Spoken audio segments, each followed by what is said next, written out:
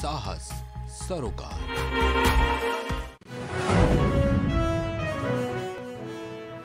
जगदलपुर में आय की बढ़ोतरी की मांग कर रहे रसोईया प्रशासन नहीं उठा रहा कोई भी कदम।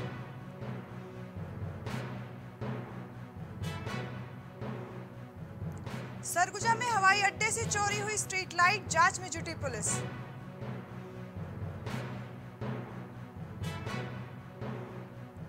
सरायपाली में फिर हड़ताल पर पहुँचे पंचायत सचिव। मांगों को लेकर कर रहे अनिश्चितकालीन हड़ताल। सरायपाली में उम्मीदों का स्कूल उड़ान, मुख बाधिर को दी जा रही मुफ़्त शिक्षा।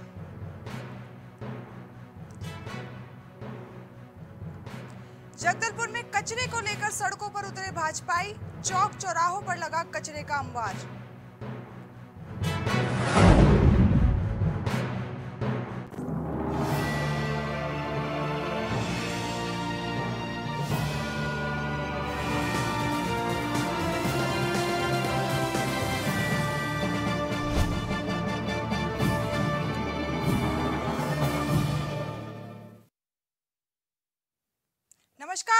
नमस्कार मैं ईशा भार्गव, स्वागत है आपका प्राइम छत्तीसगढ़ में। प्रदेश भर में आज सचिव शासकीयकरण की मांग को लेकर धरना प्रदर्शन किया जा रहा है। तो वहीं रायगढ़ के बाहर भी भारी संख्या में सचिवों ने एक दिवसीय धरना प्रदर्शन कर राज्य सरकार तक अपनी आवाज़ पहुंचाई है। तो वहीं धरना स्थल पहुँचे सचिवों ने बताया कि वो गाँव की ज़मीन, जमीनी स्तर के सभी कार्य करते हैं और निश्चित तौर पर सचिवों के हड़ताल पर चले जाने से ये सभी कार्य प्रभावित होंगे।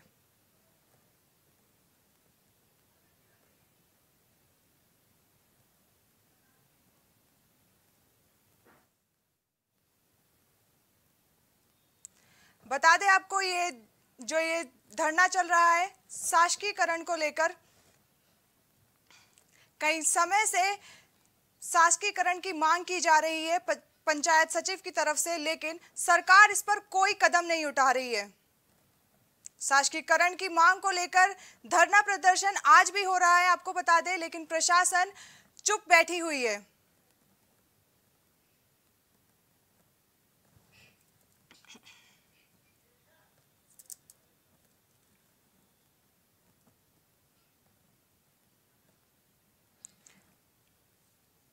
शासकीयकरण की मांग को लेकर हो रहा है धरना प्रदर्शन, आपको बता दें।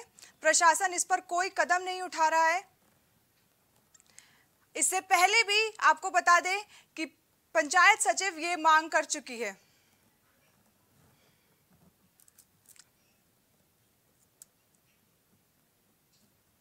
जगदलपुर में मुंगेली के युवा शिक्षक संतोष गुप्ता नशा मुक्ति का संदेश देने 33 जिलों की साइकिल यात्रा पर निकले।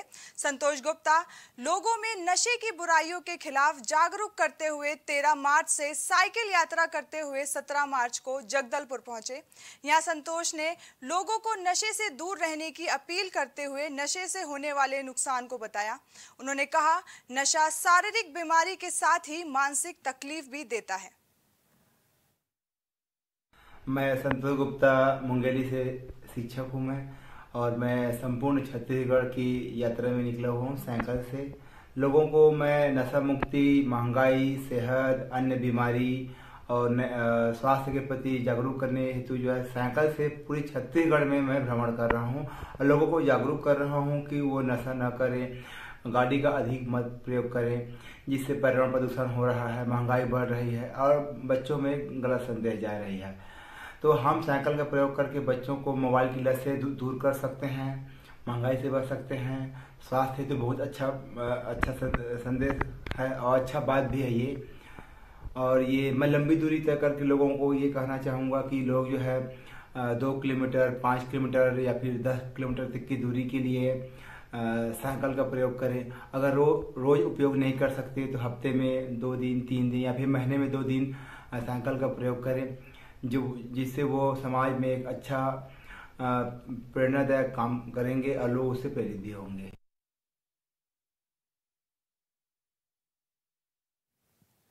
रायगढ़ में अब यातायात नियमों का उल्लंघन करना भारी पड़ने वाला है। बता दें कि पुलिस ने एक मोबाइल नंबर जारी किया है, जिसमें मोबाइल नंबर में आई शिकायत पर पुलिस त्वरित कार्रवाई करेगी।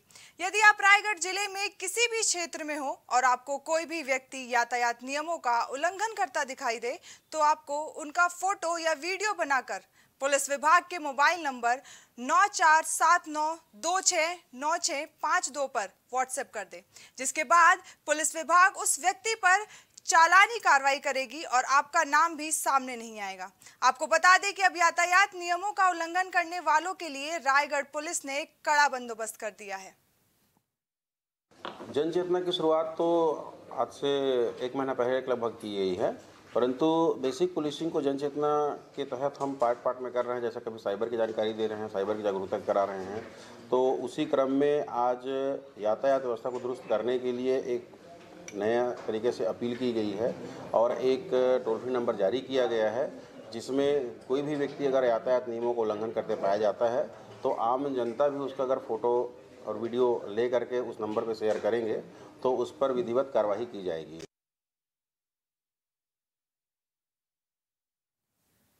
रायगढ़ के चक्रधर थाना क्षेत्र में ग्राम महापल्ली में एक युवक ने जमकर आतंक मचाया और एक मकान में आग लगा दी। साथ ही एक बुज़ुर्ग के सिर पर डंडे से हमला कर उसे घायल कर दिया। मामले में परिजन थाना पहुँचे और आरोपी के खिलाफ शिकायत दर्ज कराई। तो वहीं पुलिस ने मामले में एक आरोपी को गिरफ़्तार कर लिया है। वहीं उसके अन्य तीन साथी भी फरार हैं।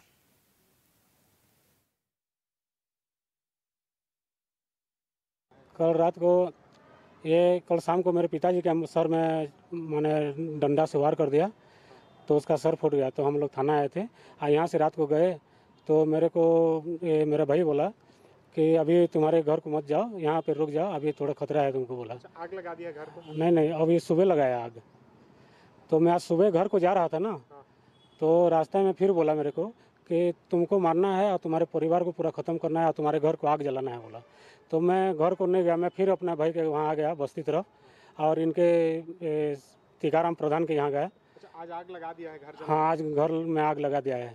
कौन कौन थे घर में कोई था? घर में कोई नहीं था सब बस्ती तरफ़ हम डर के मारे भाग आए थे।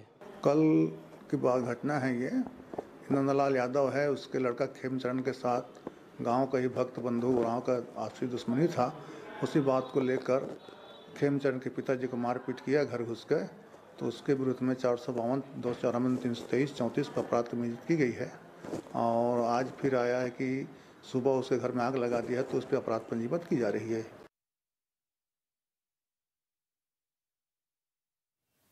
जगदलपुर में पंडरी पानी के हॉकी प्रशिक्षण केंद्र को खेलो इंडिया के लघु प्रशिक्षण केंद्र के रूप में स्वीकृति मिल गई है। बता दें कि इंदिरा प्रियदर्शनी खेल स्टेडियम स्थित क्रीड़ा परिसर और पंडरी पानी में अत्याधुनिक खेल अधिसंरचनाओं का निर्माण किया जा रहा है। वहीं अब हॉकी प्रशिक्षण केंद्र को अब भारतीय खेल प्राधिकरण द्वारा खेलो इंडिया के लघु प्रशिक्षण केंद्र के रूप में मान्यता प्रदान कर दी गई है, जिसको लेकर कलेक्टर चंदन कुमार ने सभी खिलाड़ियों और खेल प्रेमियों को बधाई दी।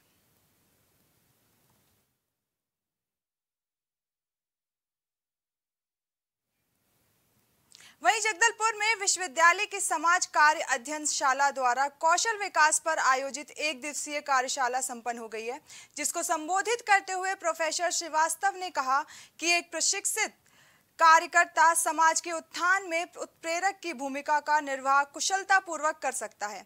उन्होंने कार्यशाला में उपस्थित विद्यार्थियों को विज्ञान, तकनीक, इंजीनियरिंग, गणित और आर्टिफिशियल इंटेलिजेंस की महत्ता पर प्रकाश डालते हुए आगे कहा कि विभिन्न प्रकार की सामाजिक समस्याओं के वैज्ञानिक अध्ययन में उक्त माध्यम काफ़ी प्रभावशाली साबित हो सकते हैं।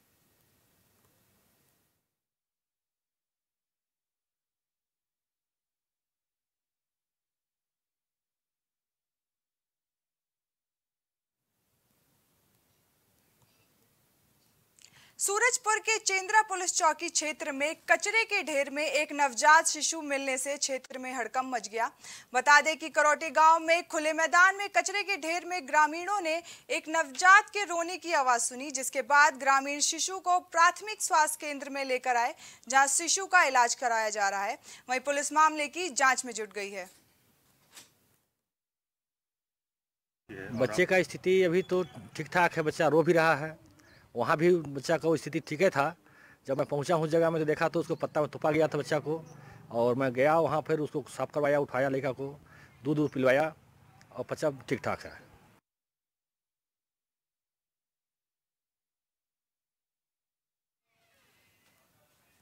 सरगुजा में निर्माणाधीन माँ महामाया हवाई अड्डे में अज्ञात चोरों ने स्ट्रीट लाइट को चोरी कर लिया, जिसके बाद पुलिस की टीम मौके पर पहुँची और जाँच में जुट गई। बता दें कि अभी तक 19 स्ट्रीट लाइट की चोरी होने की संभावना जताई जा रही है।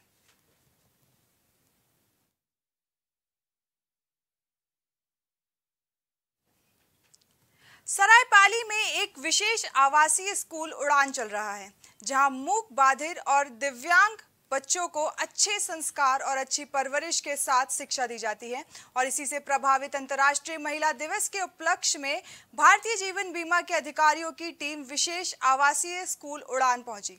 वहाँ रह रहे दिव्यांग बच्चों से मुलाकात की और उनके बेहतर ढंग से परवरिश देने, शिक्षा देने और उनके ख्याल रखने के लिए उड़ान स्कूल की संचालिका उमा शाहू को सम्मानित भी किया।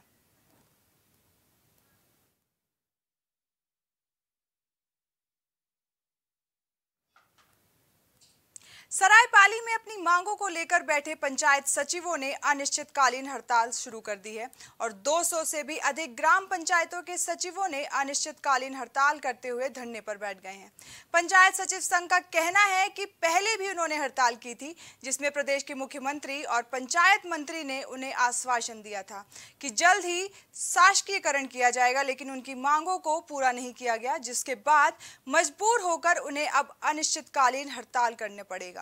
और जब, और तब उनकी मांग पूरी नहीं होगी और लिखित में आश्वासन नहीं मिलता, तब तक हड़ताल समाप्त नहीं होगी।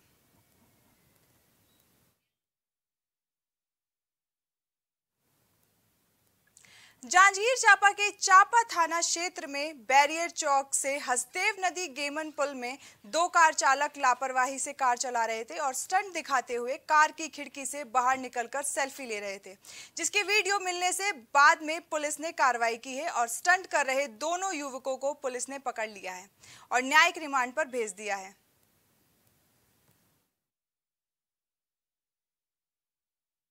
दिनांक 16 तीन 2023 के रात्रि करीबन 12 बजे चांपा में बेरियर चौक है वहाँ से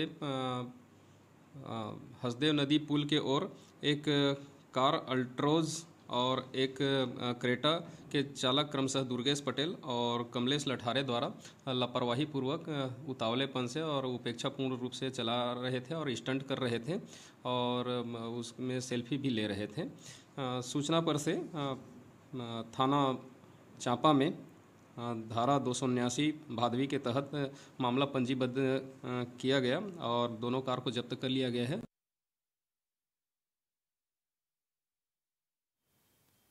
जगदलपुर के टाउन हॉल में आयोजित शिविर में समस्त मितानिन दीदियों को बस्तर से तंबाकू और विभिन्न प्रकार के नशीली वस्तुओं से मुक्त कराने के लिए प्रेरित किया जा रहा है, जिसमें मुख्य भूमिका ज़िले के कलेक्टर चंदन कुमार और अन्य प्रशासनिक अधिकारी निभा रहे हैं। तो वहीं शिविर के मितानिन कार्यकर्ताओं को तंबाकू और अन्य नशीली पदार्थों से होने वाली हानियों और बीमारियों के विषय में जानकारी भी दी गई।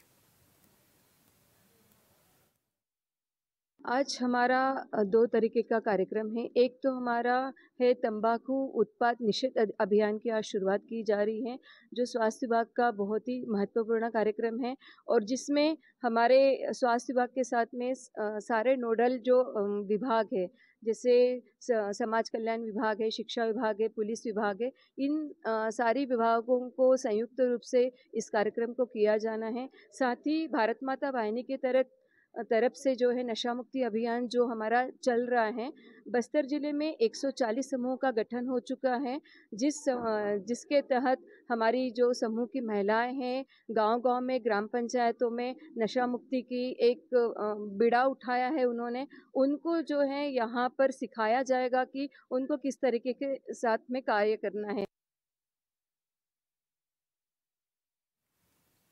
आगे बढ़ते हैं। जगदलपुर में सरकार पर जनजाति विरोध होने का आरोप लगाते हुए सर्व आदिवासी समाज ने प्रदर्शन किया और आरक्षण को 32 प्रतिशत से घटाकर 20 प्रतिशत कर दिया। जिसे लेकर आदिवासी समाज प्रदेश सरकार के खिलाफ आक्रामक दिख रहे हैं। तो वहीं आदिवासियों के आरक्षण में कटौती को लेकर सर्व आदिवासी समाज ने सिरहा सागर चौक में एक दिवसीय धरना प्रदर्शन कर आदिवासियों के आरक्षण को घटाकर 20 प्रतिशत करने को लेकर प्रदेश सरकार के खिलाफ प्रदर्शन किया है। आरक्षण को फिर से रद्द कर दिया गया है, जिससे आदिवासी समाज को बहुत बड़ा नुकसान हो रहा है और भूपेश सरकार अपने राजनीतिक रोटी सेकने के लिए जो षड्यंत्र कर रहा है, आदिवासी समाज इससे बली बाती परिचित है, जानते हैं और आने वाला समय में उनको सबक सिखाएँगे और आदिवासी जनता रोड में सड़क में उतरने के लिए मजबूर है। आने वाला समय में आंदोलन आरक्षण को लेकर रोड में उतरेंगे और सरकार को कि आज ये धरना प्रदर्शन संगठन द्वारा छत्तीसगढ़ शासन का पक्षपातपूर्ण व्यवहार के कारण की गई है। 19 सितंबर 2022 को छत्तीसगढ़ में विद्यालय एवं शासन के नियमानुसार जो आरक्षण नीति अट्ठावन परसेंट जो लागू था, उसे समाप्त कर दिया गया है। उसके बाद आज की तिथि में पूरे छः महीना हो गए जिसका कोई राह कोई रास्ता छत्तीसगढ़ शासन द्वारा नहीं निकाली गई और ये शून्य हो गया है सभी वर्ग के लिए। अब आप सभी को पता है कि जानकारी हो कि नया जो 2023-24 का शैक्षणिक सत्र शुरू हो चुका है, जिसमें हमारे जनजाति समाज के बच्चों को, शिक्षार्थियों को आरक्षण नहीं मिलने पर ये इस शैक्षणिक सुविधा से भी वंचित रह जाएँगे। इसीलिए आज के धरना प्रदर्शन पूरे छत्तीसगढ़ के सभी जिला मुख्यालय में आयोजन की जा रही है। आज़ाद भारत में पहली बार छत्तीसगढ़ राज्य में ऐसा हो रहा है कि आदिवासी समुदाय को उसका जो आरक्षण का हक है, वो नहीं मिल रहा। वो पूरी तरह से भूपेश की सरकार ने ख़त्म कर दिया है। इससे आदिवासी समाज जो है, विभिन्न सरकारी नौकरियों में जाने के लिए जो आरक्षण मिलता था, वो बंद हो गया, जिससे आदिवासी समाज बहुत ज़्यादा दुखी है और शासन से मांग करती है कि आदिवासियों का जो आरक्षण, वो देश के आज़ाद होने के बाद से जो मिल रहा था जनसंख्या के आधार पर, वो पूरा का पूरा मिले। जगदलपुर के अनुपमा चौक में एक और कचरे का अंबार लगा हुआ है तो दूसरी ओर भाजपाई सड़क पर उतर आए हैं। बता दें कि पिछले एक महीने से जब से नगर निगम ने फरमान जारी किया है कि सूखे और गीले कचरे का विभाजन किया जाएगा, तब से कचरे का अंबार चौक चौराहों पर दिख रहा है, जिसके चलते वार्ड वासियों की स्थिति बेहद खराब है। देखिए, जो बोली थी, करूँगी कहाँ गई वो छुट्टी में? पिछले जब से एक महीना से गीला और सूखा कचरा का फरमान नगर निगम ने जारी किया है, जारी किया है। तब से लेकर वार्ड वासियों की स्थिति बहुत खराब है। और संसाधन के नाम से ना डस्टबिन बांटे गए ना ऑटो दुरुस्त किए गए। इस वार्ड में दस दिन में दस दिन से ऑटो नहीं आ रहा है। पूरा कचरा लोग या तो नुक्कड़ों में फेंक रहे हैं या अपने घर में रख रहे हैं, या गलियों में फेंक रहे हैं। जो पुरानी व्यवस्था आज से दस साल पहले थी, वो फिर से लागू हो गई है।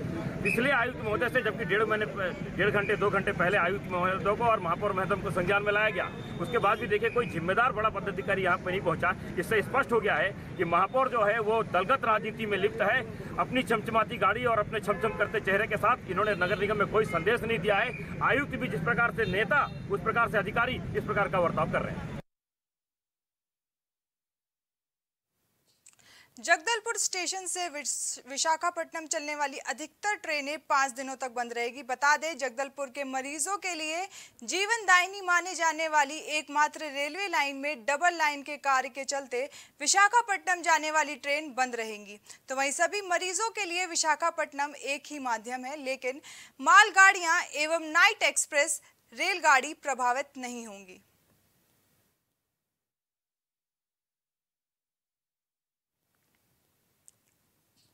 जगदलपुर में स्कूलों में भोजन बनाने वाले रसोईया अपनी मांगों को लेकर दर दर की ठोकरें खा रहे हैं और अपनी आय में बढ़ोतरी की मांग कर रहे हैं, जिसके लिए उन्होंने चौसठ दिवसीय बैठक आयोजित की, जिसमें उन्हें छत्तीसगढ़ीय वाणिज्य एवं उद्योग मंत्री कवासी लखमा से आश्वासन मिला था कि वह उनकी सहायता मानदेय राशि देने का प्रयास करेंगे।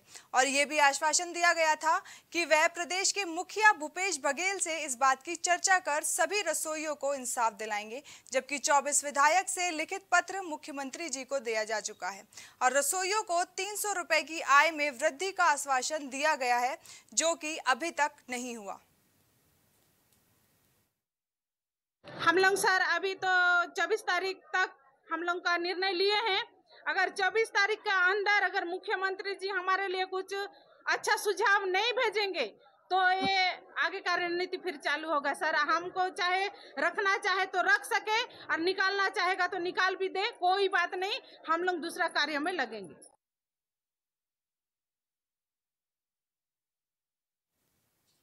एक तरफ़ बीजापुर में बारिश के साथ ओले गिरे तो वहीं ज़िले में खरीदी केंद्र में रखा धान भीग गया और कई इलाकों में जल भराव की स्थिति बन गई। मौसम विभाग के मुताबिक गुरुवार को ज़िले में उनतीस दशमलव पाँच एमएम बारिश रिकॉर्ड की गई है। इस दौरान ओले भी गिरे हैं। वहीं नगर पालिका क्षेत्र में सफ़ाई की पोल भी खुल गई। साथ ही नालियाँ जाम होने से कई इलाकों में जल भराव भी हो गया है।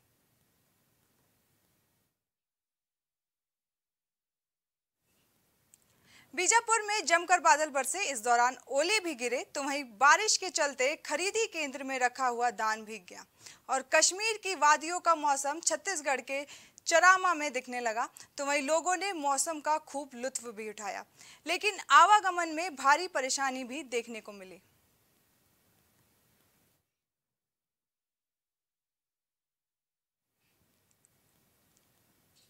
बलौदा में हनुमान छाप सिक्का का लालच दिखाकर छह लाख रुपए की ठगी करने वाले तीन साल से फरार आरोपी को पुलिस ने गिरफ़्तार कर लिया है। बता दें कि आरोपी कोरोना काल के बाद रायपुर में छुपकर रह रहा था। गाँव आने पर मुखबिर की सूचना से आरोपी की घेराबंदी कर पकड़ लिया गया। वहीं अब आरोपी के खिलाफ कार्रवाई शुरू हो गई है।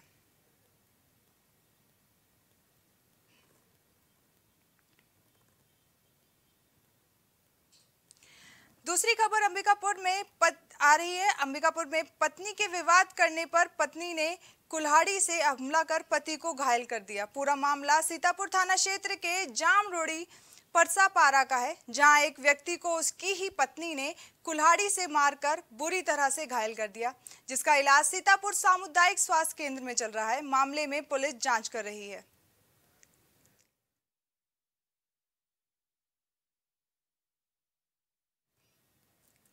अंबिकापुर के बतौली थाना क्षेत्र में पत्नी, पति ने पत्नी की हत्या कर दी और आरोपी पति को पुलिस ने गिरफ़्तार कर लिया।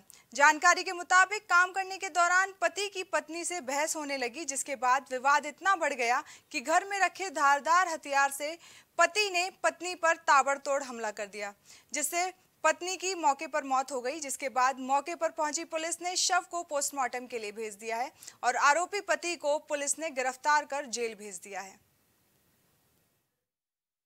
तौली क्षेत्र अंतर्गत सेदम सेमर पारा निवासी प्रभु नारायण मजबार जो लगभग 35 वर्षीय था, इसने अपनी पत्नी प्यासो बाई की चरित्र संख्या पर टंगिया से संघातक छोटे कारित कर हत्या कर दी, जिस पर थाना बतौली में अपराध क्रमांक 35 अब्लिक 2023 धारा 302 पंजीबद्ध किया गया और आरोपी को अभी पकड़ लिया गया और उसे न्यायिक अपरक्षा में भेजा जा रहा है।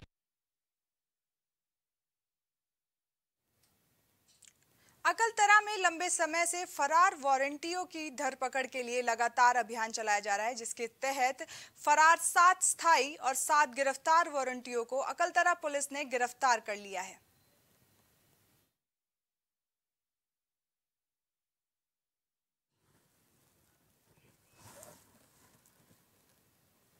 छत्तीसगढ़ की खबरों में बस इतना ही। देश और दुनिया की तमाम खबरों के लिए देखते रहिए प्राइम टीवी। नमस्कार।